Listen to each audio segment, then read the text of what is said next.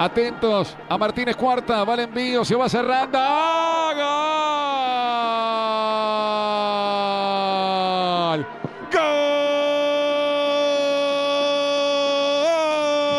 ¡Gol! Señores, de River, de River, de River. Se abraza Lolo, señoras y señores. Lo hace el millonario. Buena ejecución de Quintero. Está ganando River. 35 minutos. River 2. Sí, señores. River 2, Arsenal 0. Se encuentra en una pelota parada. El cabezazo de Lolo. Toca en Corbalán. ¿Es gol en contra de Corbalán o es de Lolo? Porque cabecea Lolo, pero si no le rebota a Corbalán, no sé a dónde va la pelota. Entre el brazo y la rodilla de Corbalán terminan impulsándola en una jugada de corner River.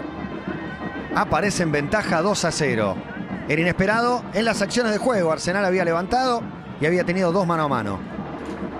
Para mí, sin duda, es Corbalán en contra. Es ¿eh? Corbalán en contra. Sobre todo porque siempre digo lo mismo. Cuando el que hace el gol va y abraza al que ejecutó, ya está listo.